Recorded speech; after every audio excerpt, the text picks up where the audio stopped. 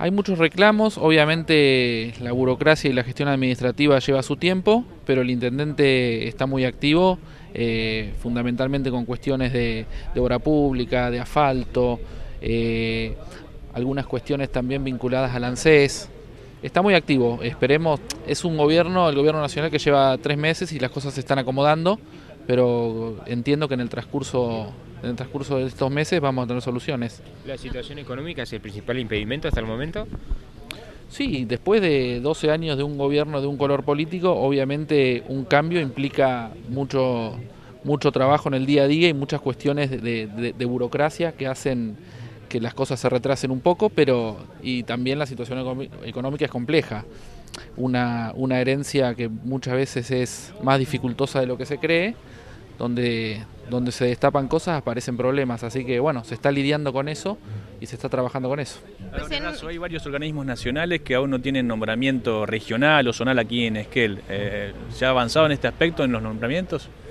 Se va a ir avanzando, paulatinamente, se están, se, están se están pensando nombres, lo tienen que definir obviamente las fuerzas políticas en un diálogo entre todos y a partir de ahí se irá normalizando. ¿En cuánto tiempo más o menos estiman? Porque bueno, hay algunos eh, reclamos que todavía no, logran tener digamos una solución, en el caso del PAMI por mm. ejemplo, eh, por falta de, representatividad. Sí, estoy al tanto y el intendente uno de los reclamos que hizo fue justamente la falta de prestaciones en el PAMI se tiene que ir normalizando, pero el intendente está muy activo con eso y está trabajando para dar soluciones.